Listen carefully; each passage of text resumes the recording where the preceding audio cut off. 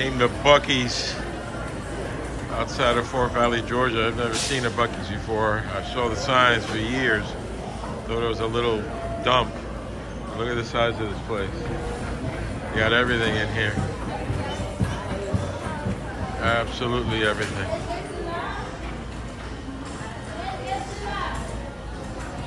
Food and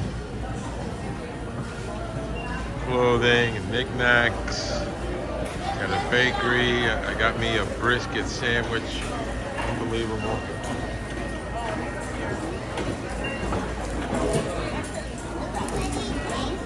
Not to mention gas.